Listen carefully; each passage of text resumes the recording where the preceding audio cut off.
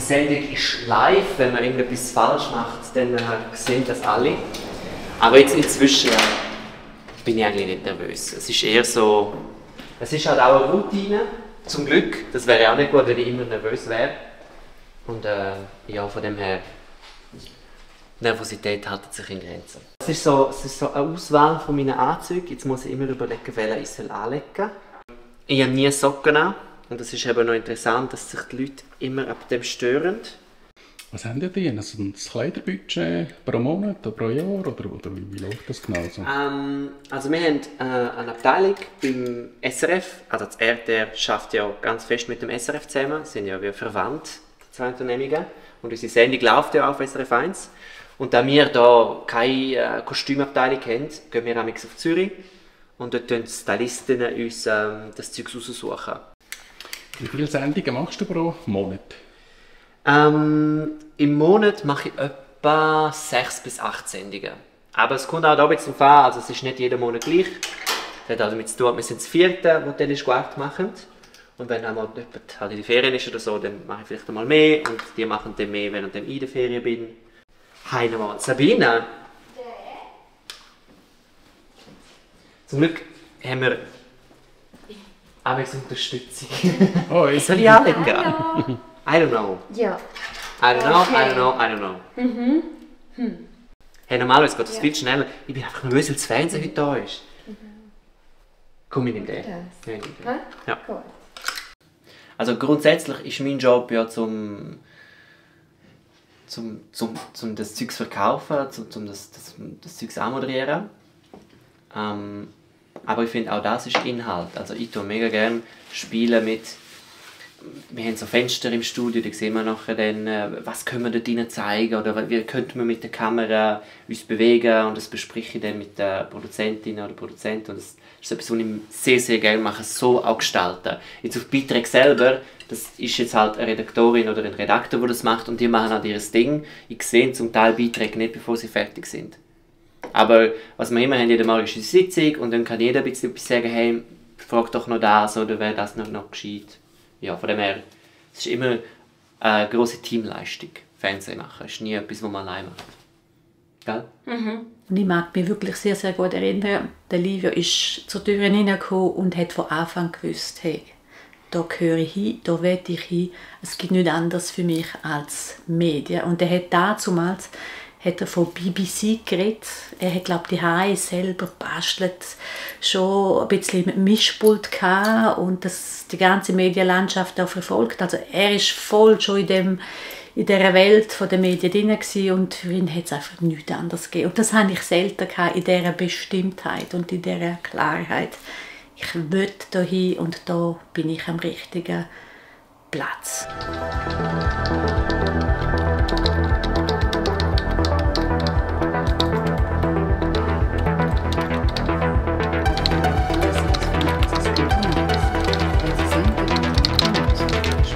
Dies en un uffezi ad oz hanno schon già loro Printtermin con le medias agli sconter mensil con la Regenza. Das ist für den Teleporter genau. Also das ist ein großes Geheimnis natürlich. Ähm, ich weiß das Zeug nicht auswendig. Ähm, das ist alles abgelesen vor der Kamera. Das sehen wir nachher im Studio. Hat es einen Spiegel und dort wird ein Text drauf projiziert und dann kann ich das ablesen. Beim Fernsehen ist es auch immer, es geht um Sekunden. Das heißt, wenn mein Text 20 oder 30 Sekunden ist, dann hat das einen Unterschied. Also man muss immer schauen, dass man von der Zeit her ein bisschen kann voraussehen kann, okay, wie lange wie lang redet der Livio, wie lange wird denn die Sendung. Mir gibt es jetzt da immer genau ein, also der Text da ist jetzt zum Beispiel 26 Sekunden. Das Programm weiß, wie schnell ich rede. Und was auch noch ist, dass der Text lesen auch ähm, die von Teletext. Und die übersetzen das Ganze auf Deutsch und dann kann man dann, äh, wenn man Telesquart schaut, auf der Fernbedienung Teletext 777 einstellen und dann dort äh, kommt dann, das, was ich auf Romanisch sage, kommt dann auf Deutsch. Und sie arbeiten und arbeiten auch mit dem Tool. Beim Livro haben wir gesehen, der möchte auch präsentieren. Also er hat einen Biss, aber er möchte auch, hat überhaupt keine Angst gehabt, zum vor der Kamera stehen und äh, etwas aufsagen. Also er hat den Drang, nach Fürschi schon ziemlich in sich gehabt. Das sind schon mal gute Voraussetzungen. Gewesen. Bei uns ist niemand zur Tür hineingekommen, gerade zum Fernsehen. Das hätte es gar nicht gegeben.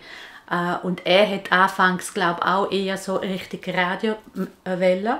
Und dann hat sich das dann ein bisschen entwickelt, oder? dass dann Fernsehen natürlich noch dazugekommen ist.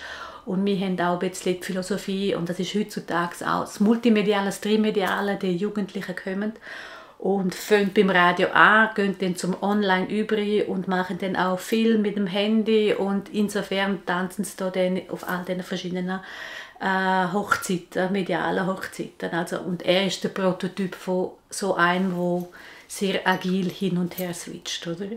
Also, ich habe jetzt in den letzten Jahren nur Fernsehen gemacht und ich merke, dass ich das Radio ein bisschen vermisse. Und deshalb hat sich das zum Glück jetzt auch ergeben, dass ich eben wieder kann im Radio etwas machen Und ich glaube, ich bin von Typ einer, ich könnte nicht nur eine Sache machen, mir wird es sehr schnell langweilig. Und deshalb habe ich mehrere Jobs parallel.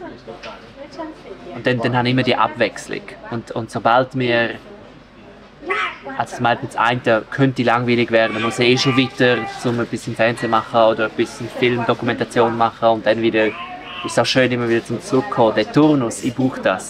Also viele, die mich sehen, wie ich arbeite und, oder wie viele verschiedene Jobs ich habe, denken, das spinnt. Aber ich brauche das, mir gibt das mega viel. Ja.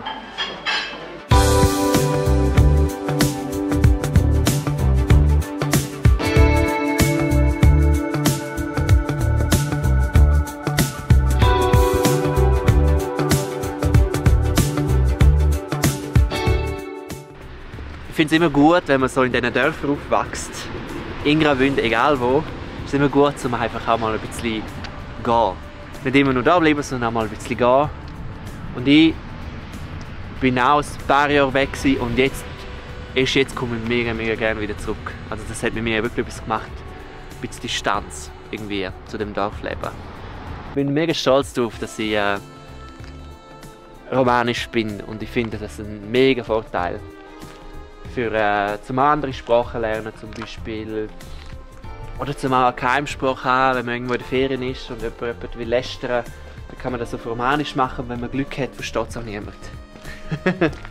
ich glaube, es gibt niemanden, der Bündnerdeutsch mehr Punkte macht als Zürich. Es ist so lustig, wie Zürcher das total cool finden. Ähm, ich glaube, das erinnert halt viele an die Ferien und auch jedes Mal, wenn ich jemandem erzähle, ah ja, bin ähm, in der Nähe von Obersachsen aufgewachsen, dann sagen irgendwie die meisten, entweder ich habe dort Skifahren, meine Kollegen haben dort ein Ferienhaus oder wir gehen dort jeden Winter an, Skifahren. Ich glaube, der schlimmste Vorteil, den wir Bündner ähm, dagegen kämpfen müssen, ist halt, dass wir so cool und perfekt sind. Es ist nicht einfach, wenn alle immer das Gefühl haben, wir sind so cool. Nein. da sehen wir jetzt ein bisschen. Wie schön. Kommen Sie hier an, kommen Sie auf Land. Wir haben einen Beiz und ein Posti. Und da, was man von hier auch sieht, ich bin ähm, zwar zu Land aufgewachsen, aber auf meiner Idee Heimatort steht Verlehren. Und das sieht man eben auch dort hinten ist äh, Verlehren. Genau, dort habe ich auch noch ein bisschen meine Roots. Mein Nachname ist, äh, ist etwas, also ich glaube meine Familie, die er hat. Und meine, mein Vater hat auch viele Geschwister. Aber sonst höre ich den eigentlich nie. Das ist nicht so ein Nachname wie, keine Ahnung, der Rungs oder Kaduff, wo irgendwie jeder zweiten Oberländerfamilie irgendwo drin ist. Ist bei uns wirklich nicht. Und ich finde es eben noch lustig, also mein Nachname ist für viele sehr schwierig zum Aussprechen oder zum Schreiben. Also man sagt ja Kistel. Und die allermeisten schreiben amix mit einem R, also Christel. Ich weiß auch nicht wieso, in einem Mail oder in einem Brief schreiben sie eigentlich immer Christel. Ich weiß auch nicht, wieso sie das machen. Und sie sagen es auch oft so, Christel oder Chistel. Und mir regt es auf. Und langsam ist es schon so peinlich, weil alle das immer falsch sagen. Und im, magst du ja nicht immer korrigieren, schwierig. Giselle habe ich auch schon gehört, das das Schlimmste. Giselle. Giselle oder so irgendwie. Ja, das hat weh Tja, ich merke halt einfach, wie viele Leute oder wie wenig Leute über das Romanisch wissen und dann denkt, komm, das ist jetzt wieder eine ideale Art, um auf TikTok einmal so ein paar Erklärvideos drauf zu tun. Und ähm, das mache ich jetzt. Romanisch für Anfänger, wo auch du ein bisschen Romanisch lernen kannst. Und heute gibt es eine Beleidigung. Und das ist eine von meinen Lieblings, die auch schon meine Mama gebraucht hat. Tuppa Skatla, das bedeutet eigentlich wörtlich übersetzt dumme Schachtel. Ich weiß gar nicht, ob man das auf Deutsch auch sagt. Du bist, du bist eine dumme Schachtel. Auf Romanisch jedenfalls Tuppa Skatla. Für mehr Romanisch und damit du aber keine Tuppa Skatla bist, folg mir am besten gerade jetzt. Während dem Deutschschweizer vielleicht Französisch lernen in der Schule, lernen wir Deutsch.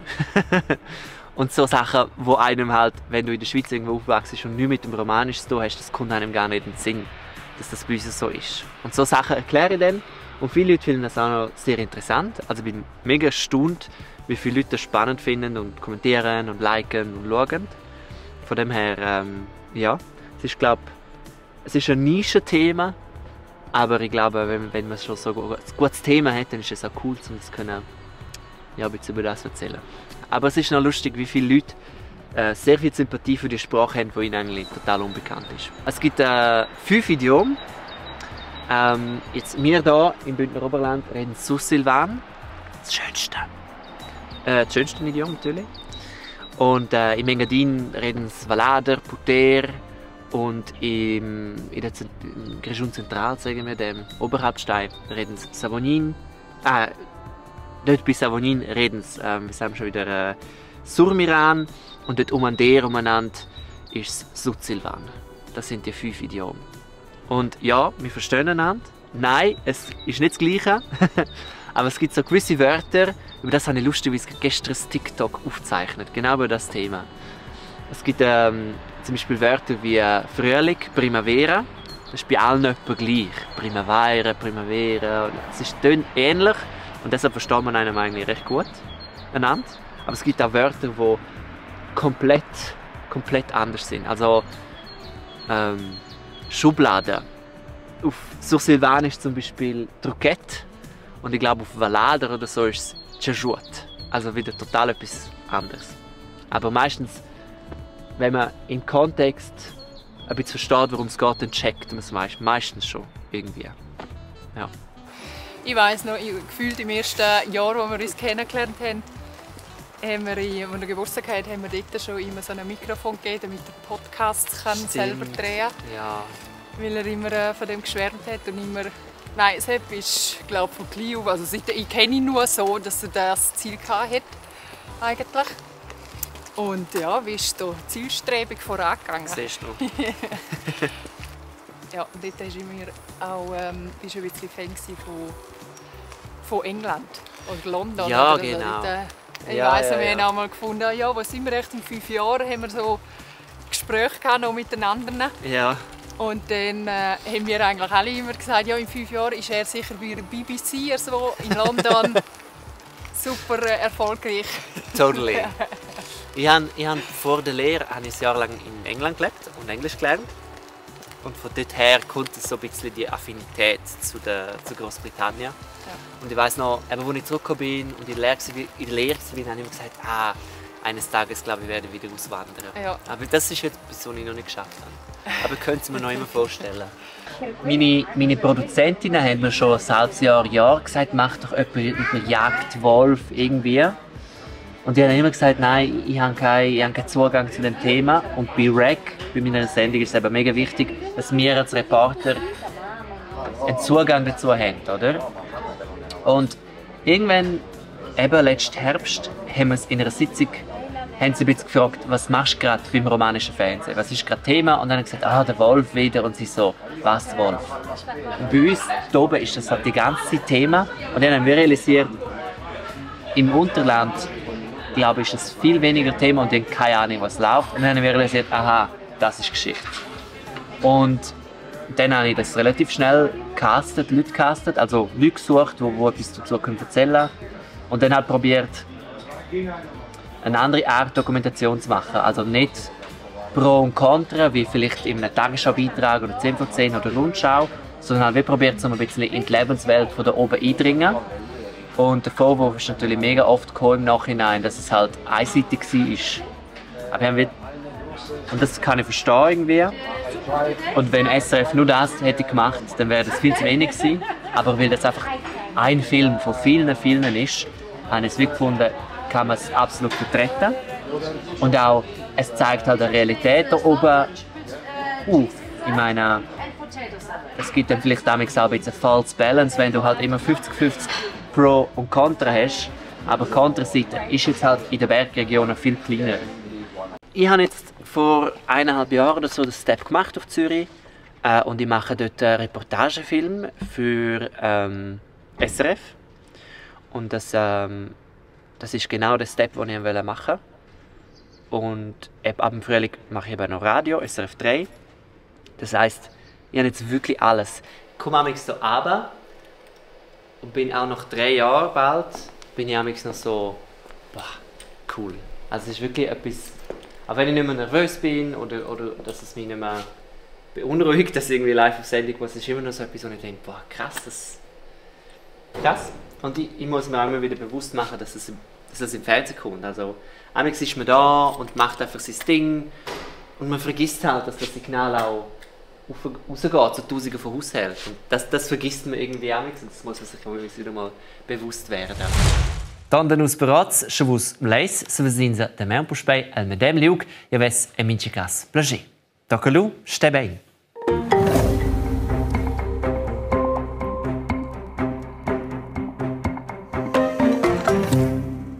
Ich bin zufrieden, ja. Also die Sendung ist äh, pannenfrei gegangen. Der ähm, Livio macht das natürlich sehr professionell. Das ist sein Metier äh, vor der Kamera, das kann er. Er ist da absolut zuverlässig, pannenfrei. Und auch im Nachhinein würde ich alles nochmal genau gleich machen. Ich bin jetzt noch erstaunt, überrascht, positiv überrascht, dass alles genauso funktioniert hat, wie ich das wählen